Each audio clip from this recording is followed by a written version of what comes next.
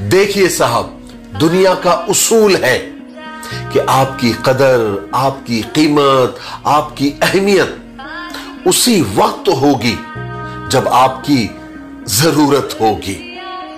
बिना ज़रूरत के तो हीरे भी तिजोरी में रख दिए जाते हैं। तो आप किस खेत की मूली हो? दुख और दर्द इंसान को सोचों के समंदर में धकेल देता है। बस कोई चीखने लग जाता है और कोई तैरना सीख जाता है।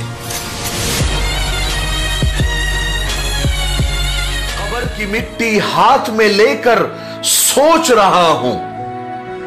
लोग जब मर जाते हैं तो गुरूर कहाँ जाता है?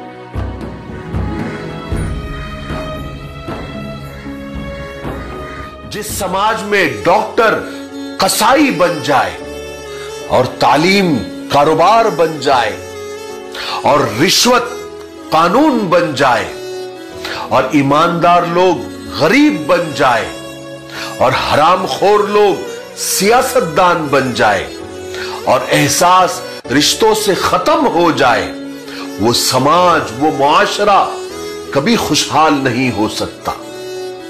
बात समझ में आई?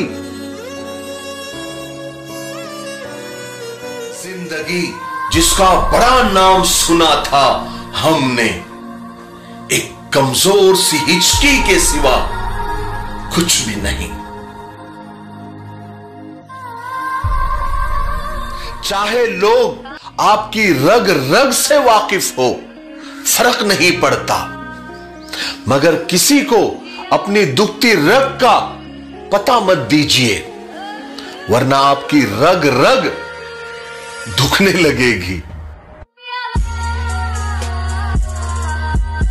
अपने ख्वाबों को, अपने सपनों को पूरा करने के छह उसूल बनाओ।